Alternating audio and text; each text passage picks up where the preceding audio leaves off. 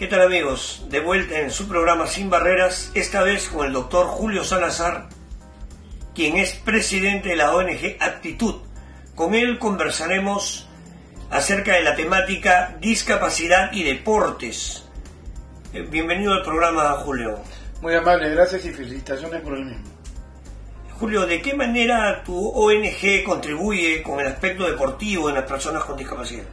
El deporte y la actividad física contribuyen enormemente en el área de la discapacidad y o habilidades diferentes, como prefiero yo denominar el tema. No somos discapacitados por carecer de alguna función, tenemos alguna habilidad diferente.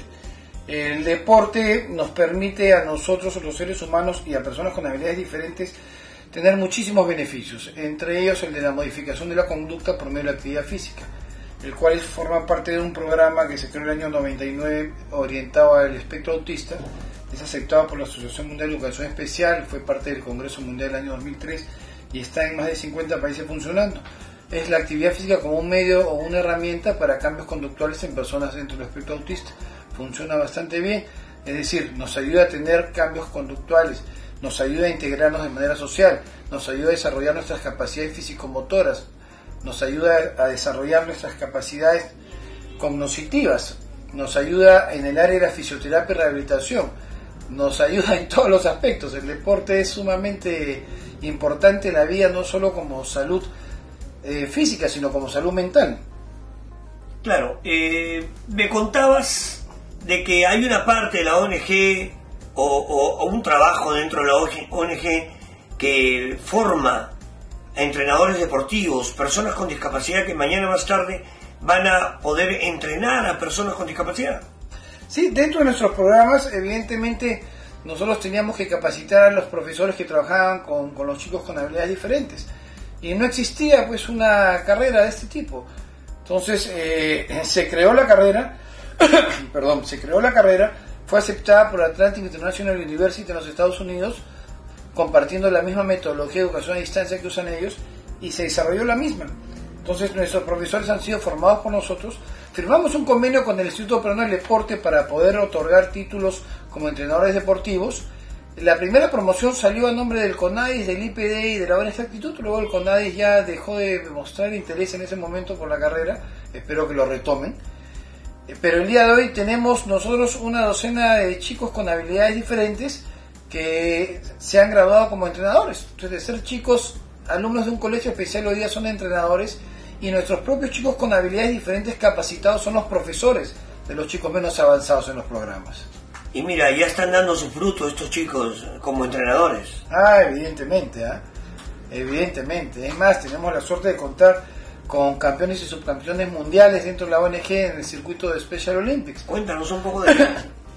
Mira, el último, los últimos Juegos Mundiales de Special Olympics en la ciudad de China, en Beijing, la ciudad de Beijing en China, han sido el 2007. El último subcampeón mundial es el joven Víctor Yontop, es un chico con habilidades diferentes de la institución. Es el último subcam- subcampeón mundial, pero además es entrenador deportivo que se graduó con nosotros. Trabaja en la ONG, tiene a su cargo un grupo de chicos con habilidades diferentes a los que entrena y sus propios chicos ahora compiten contra él. Qué interesante. Sus propios chicos compiten contra él en los torneos. Claro, él todavía le lleva cierta ventaja porque es mucho más fuerte, pero es un aliciente para, para los propios chicos y para él. Es decir, a través de la actividad física y a través de la preparación, ha habido que hacer una metodología acorde a las necesidades de las personas con habilidades diferentes, pero eso significa simplemente trabajar un poco más, pero no significa que no se pueda hacer. Hay que tomarse el tiempo, ¿no? Hay que estudiar y hacer las cosas bien, pero con una buena metodología, una buena planificación, eh, podemos sacar adelante. Eso es muy cierto, Julio. Realmente, amigos, el deporte en las personas con discapacidad ayuda muchísimo. Primero en la integración y luego en su salud mental, física, en estar activos. Es muy importante, Julio. Me encantaría seguir tocando estos temas, pero tú sabes, en televisión el tiempo es nuestro tirano y tenemos que despedir la entrevista. Tus palabras, Julio. Bueno, primero que nada quiero agradecer evidentemente el poder ser portavoz de mi institución y de las personas a las cuales nosotros apoyamos. Quiero solicitar al CONADE por intermedio de ustedes que, como decimos previamente, se pongan las pilas con la carrera, pues, porque somos los únicos que hacemos algo como esto y esto puede ser distribuido a todo el país a través de la computadora. Entonces se puede capacitar gente y eso puede redundar la redundancia en esto va a hacer que la gente con habilidades diferentes va a tener personal calificado y profesionales que los pueden ayudar a desarrollar las actividades deportivas. Recuerden que los atletas especiales del Perú son los que nos llenan de medallas. ¿ah? No es el fútbol, no es el atletismo, natación ni vóley. Son los atletas especiales los que nos traen múltiples, más tenemos centenares de medallas de oro de campeones mundiales. Así es amigos. Eh, te invito Julio, a, invito a nuestro público a nuestra siguiente sección que es Testimonios de Vida.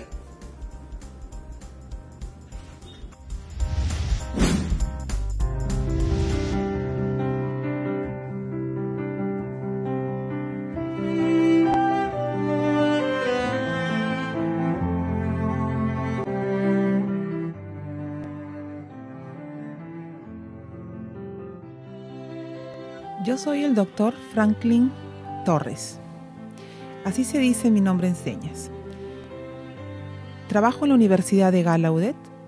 Trabajo como profesor en el departamento de inglés. De la misma manera, trabajo en el departamento de estudios generales.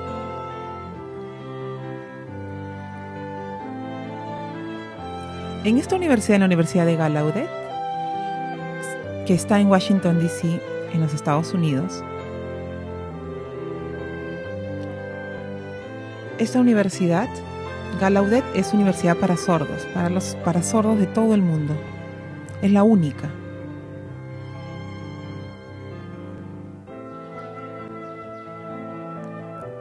La Universidad de Gallaudet está abierta para todos los sordos del mundo.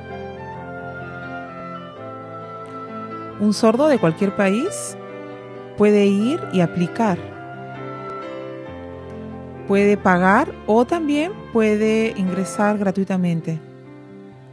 Pero es importante saber, conocer el inglés, escribirlo y leerlo.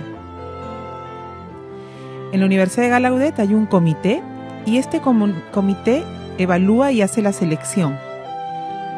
Por ejemplo, en el Japón, esta es la seña de Japón, existe una fundación que apoya a países del tercer mundo, países que están en vías de desarrollo, países con pobreza. Esta fundación los ayuda.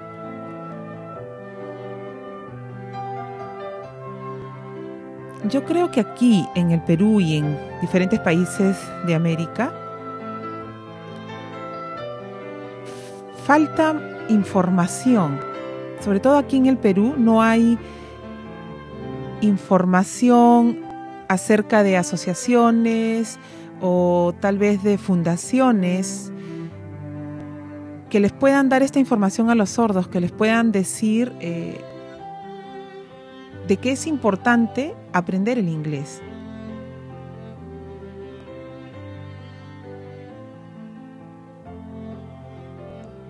Es muy importante que todos los sordos entiendan esta frase, sí puede, sí se puede.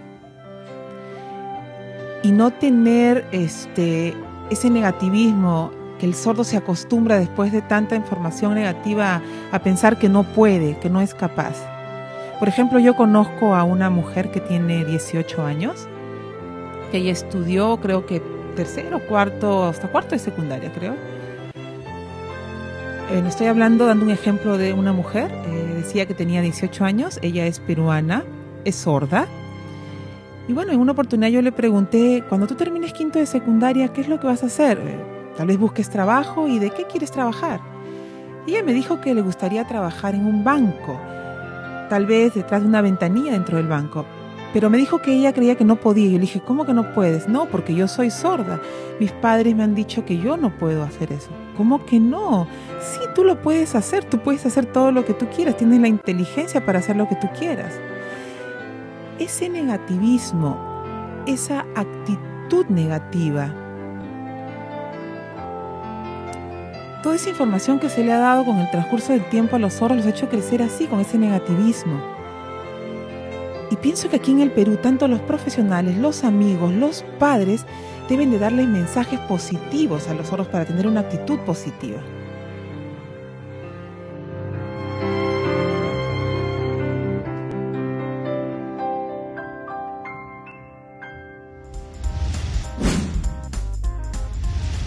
Como siempre aquí en Sin Barreras nosotros pues estamos mostrándole a toda nuestra audiencia los ejemplos de vida. Lo principal que a todos les queremos decir si están un poco deprimidos, tristes, es que tienen que salir adelante. Muchachos, arriba, arriba, ¿no es cierto? Claro que sí, nosotros felices porque cumplimos hoy seis meses. Seis meses de buenas entrevistas, seis meses de ejemplo de vida, seis meses de notas importantes. Tenemos un programa realmente inclusivo, el primer programa en América especializado en la temática de la discapacidad con lenguaje de señas, con todito, completito para ustedes. Así sí, son seis meses que ustedes nos están siguiendo y esperamos que nos sigan mucho más, así que pasen la voz, saben que tenemos nuestro Facebook de Sin Barreras, ahí se pueden comunicar con nosotros, decir qué tema quieren que toquemos, nos pueden poner fotitos, todo lo que ustedes deseen en el Facebook de Sin Barreras, ya seis meses que estamos, ¿no es cierto? Claro que sí. Pero bueno, mi querido Enrique, el tiempo, el tiempo. el tiempo se terminó, pero ya saben amigos,